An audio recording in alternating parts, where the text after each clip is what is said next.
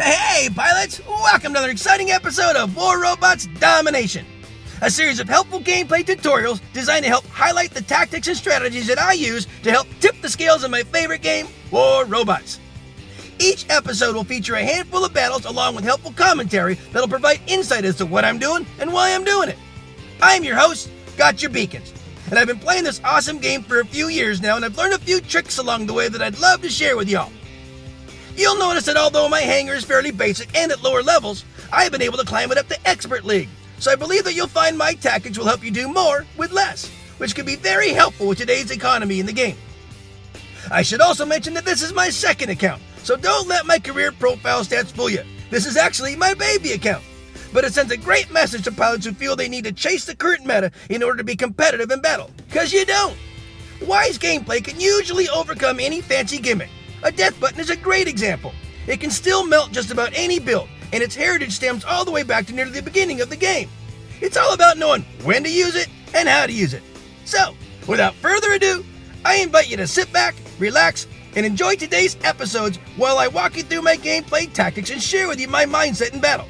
I hope you find it entertaining, helpful, and fun to watch. I think you will.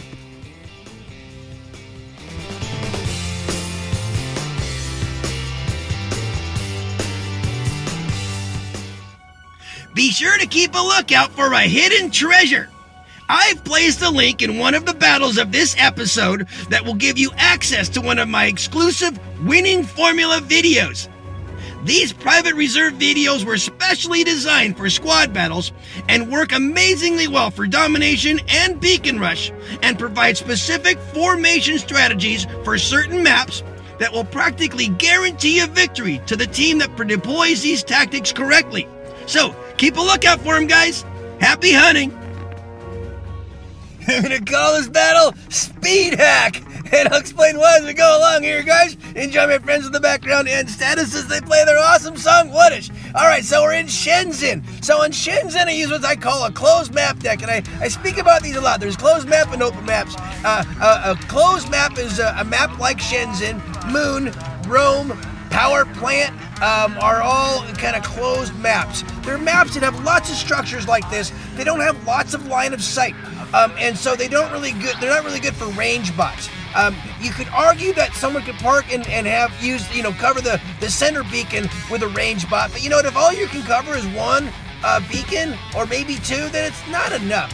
And there is one or two perches where you can do three. But I found that, you know, on this map especially, um, there's another reason I want to use a closed map deck. A closed map deck is where all your bots are faster, they're more nimble, uh, they're more inside knife fighter type things, um, and uh, you know it, it helps to uh, uh have a better advantage for speeding around and getting these beacons. So that's another part of the game and it's obviously for me the primary part of the game is is getting beacons and and, and capping them and, and maintaining them. And on, on a closed map like this one of the other things that happens with all these different routes between beacons um, there isn't like one main center beacon that's the point of contention. Like you can see on Yamato how center is like the the most important beacon everyone's fighting for. It uh, Carrier's like that too. Well on these closed map decks uh, with all these routes that kind of connect all the different ways of getting from beacon to beacon, the beacon flow really does flow back and forth. So,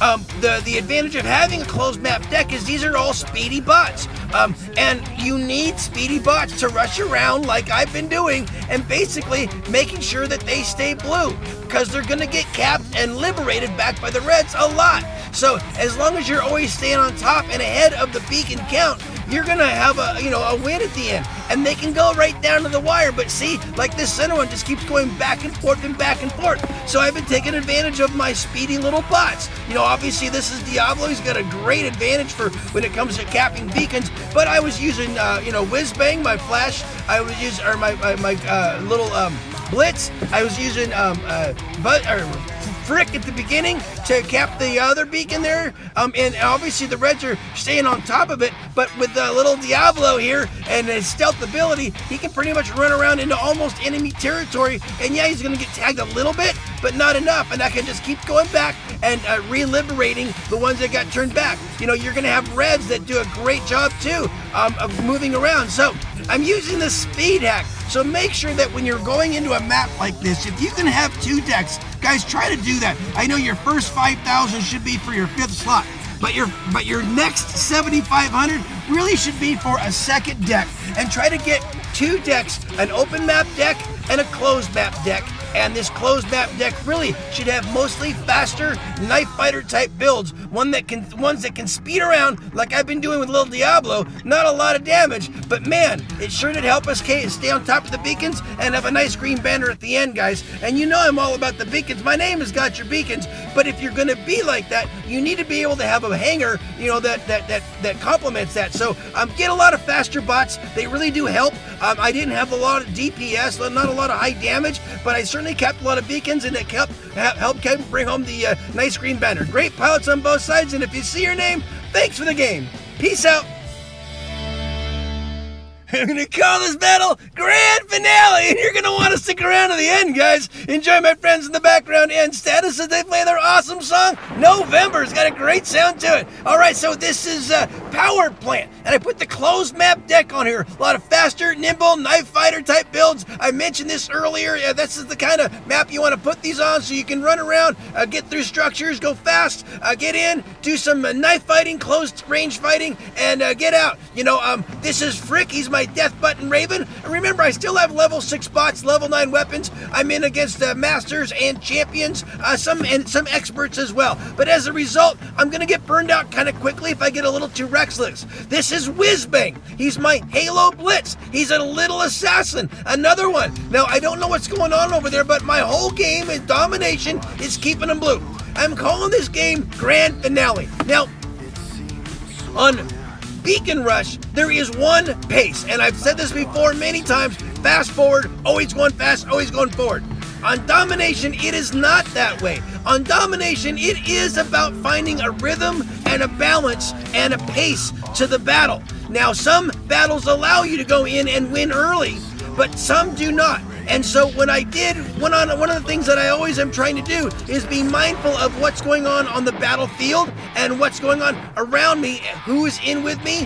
What are they doing? What are their actions? What are they strong at and all? And I've noticed that um, although um, I'm, you know, I'm running around capping some beacons, they're the, the Reds are too. So when you have a good beacon capping team against you, it's important that you don't try to do it all in one shot because they're gonna. They're, I mean, don't get too crazy. Try to pace yourself out. Try to make sure that you're kind of balancing your efforts. Your team is not going to be aggressive on beacons. They're going to be semi-aggressive, and you got to make sure that you're leaving yourself enough damage uh, or energy that you don't mech out early, that you don't get too aggressive, that you pace it but you re- you, you're, you're ready for a long haul. This is one of those epic battles where it kind of goes back and forth. We cap some, they cap some. We cap some, they cap some. And we're right now we're down three to two. And now I'm trying to get back in here. I didn't empty my guns. I thought I did, and I didn't. And I didn't recharge them very well for Buzzkill here. This is Buzzkill. He's my Spark Scorch Minter. He buzzes and he kills you. And one's one of everyone's favorite.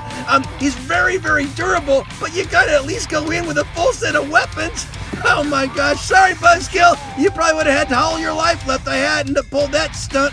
Oh well, I mean, I'm gonna go after this guy. I'm not gonna weather that one, but we're at a four capper now. But I bet they're gonna come back as they are right now because the red team is all about it. Now, I saw some funny builds. You know, I saw a uh, a, a, a, a, Trident Carnage running around on our team. Obviously, I saw Zenith on their team. That was a Zenith um a Zenith Falcon. so there's a lot of interesting builds running around the battlefield, and I see that. But I also see again that um, they are definitely always pushing back on beacons. Every time we push, they push back.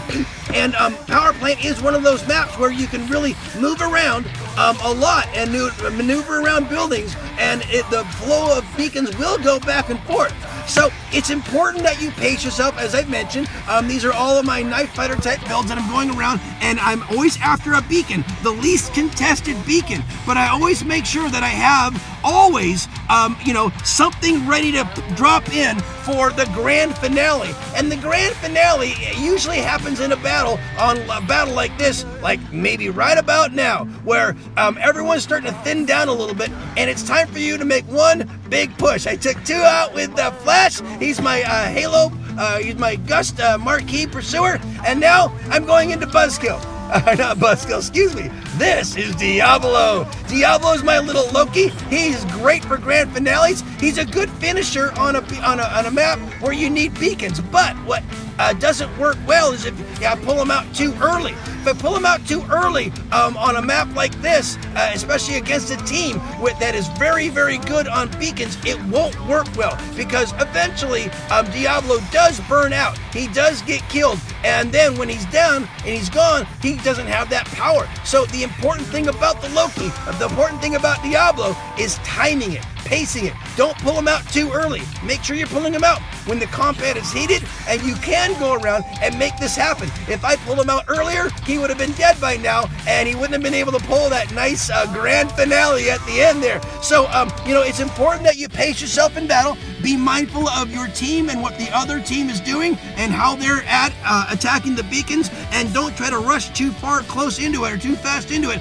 if you don't think it's going to work out. So be uh, be ready for that and have the um, the uh, arsenal in your hangar uh, that can take care of it and make sure you hold it to the right spot there and have those nice grand finales. And if you see your name, thanks for the game. Peace out.